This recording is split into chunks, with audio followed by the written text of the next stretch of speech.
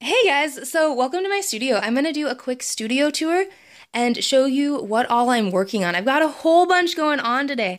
As you can see, uh, these sunflower pieces are going, I'm going to be demoing on Saturday, and I'm doing the like the wet areas. They're just washes that'll be harder to do on an easel for watercolor. And also, um, I don't want to make people wait and watch paint dry. I want to be able to do like be painting while they're there. So I'm getting some of the background, large wet areas done now.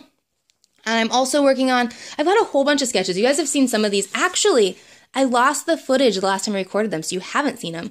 But uh, I've got these like sketches going on. I call the little one sketches just because they're, um, that's how I, that's my process. And then I'll like remake them or make them bigger. You can see like the big version of the little one that's going on. And these are going to be up in uh, Barracuda Coffee later on.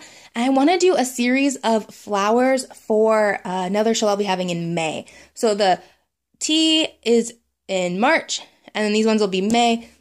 I'm also hoping to do a wine series, and I'm not sure when that'll be. But um, this butterfly is uh for a class that I'll be teaching. It's a a lady who owns the Wet Palette. If you had a chance to go to a Wet Palette party, do it. They're awesome. But I'll be teaching one of her a, a couple like kids classes for her, and so that um is one of the like just me practicing with her technique and playing with the um these were the like we tested ones for like little kids, so, like really um, we just, yeah. Anyways, just a test one going on. That's why it's there. And I'm training. I'm doing the training tomorrow, actually, for her. That's an in progress. I don't know what to do. I want to add henna or text behind it. It's just incomplete, and it's been incomplete for a really long time.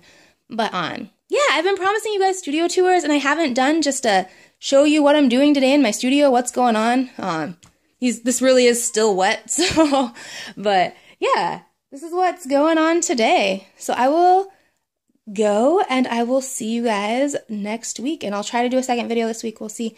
Um I'm also thinking of starting another series, but I will talk to you guys. Maybe I'll do a vlog and talk to you guys about that idea in a bit. All right, talk to you later.